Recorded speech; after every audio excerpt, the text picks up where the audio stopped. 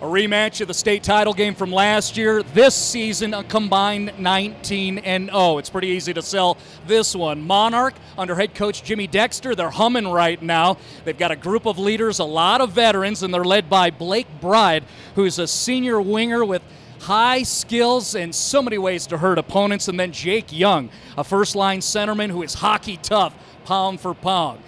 For head coach Jeff Melnicki, his squad coming off of a state title season, lost a lot of leaders, but still high level execution, and so many great players, including Danny Taggart, who's a very skilled forward with no shut off in his game, and then big Blake Hoffman, not a better defenseman in the entire region. We've got top ranked Monarch against number three Cherry Creek. I'm Marty Cesario in what should be a loud barn in Greenwood Village for your Xfinity Sports Report Game of the Week.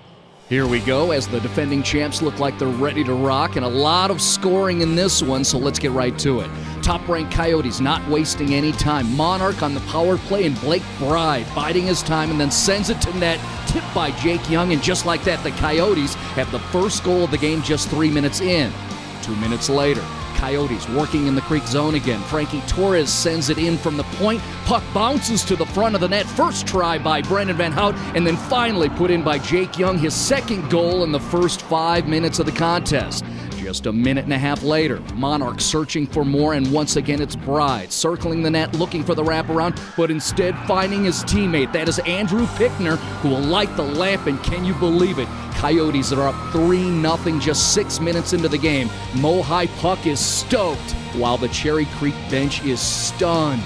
But Monarch was not done. The fortunate bounce. The puck finds Jake Young, right side slot. He turns, shoots, scores. It's 4 0, 11:50 mark, first period.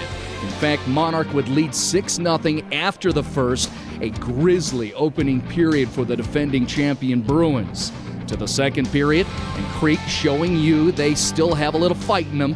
They make a change in net. Kyle Englert will take over, and then they finally find some offense. On the power play, Sam Harris leaves it for Danny Rosales, who fires a shot from the point, and there it is. Finally, the Bruins have some life. Two minutes later, more from Creek. Centering pass to Sam Harris in the slot, fires the shot, deflected, but trickles into the net. A break for the Bruins, they'll take it. Enough to think, could Cherry Creek be back in this hockey game? The quick answer to that question, within 40 seconds, is no. Battle for the puck, right circle, pops free to Jake Young, and look at the stick handling.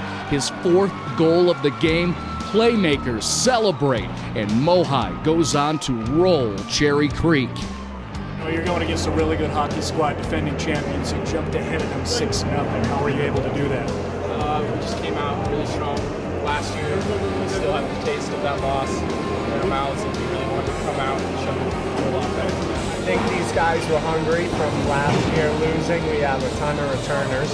So um, I knew they would come out hard, and we got a great start. I never thought after the first period it would be 6 nothing against Creek, but we'll take it. Big weekend last weekend in Canada for a tournament. We played some good teams, came out here against a good team, and just kind of carried in off of that weekend. Good passes from my teammates. Everybody's working hard, and just able to.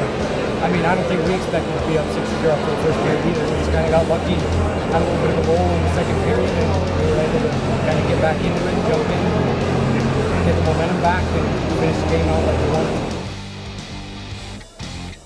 We hyped this up as a battle of elites in the state of Colorado. We showed that. You saw all the talented players out there between two great squads, but in the end, Monarch showed you why they are number one in the state of Colorado, jumping on the defending champions, Cherry Creek 6 0 in that first period, and then just coasting from there. Jake Young with four goals, one assist. Brandon Van Hout with three assists for a very talented Monarch squad that wins 9 2 this evening in Greenwood Village. For the Xfinity Sports Report, Marty Cesario.